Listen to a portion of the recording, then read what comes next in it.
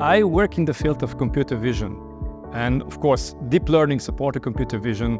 And deep learning and computer vision are really very important disciplines. Like I, I would say that they are enabling technologies for supporting many other research disciplines. So what we are working on are various uh, computer vision problems from classification to segmentation, anomaly detection, for instance, uh, visual tracking, and so on. And these are all solutions that are important per se, right? For to make for to make really important contributions in the field of computer vision. However, they can be applied to various other research disciplines, such as medicine or Earth observation, astronomy.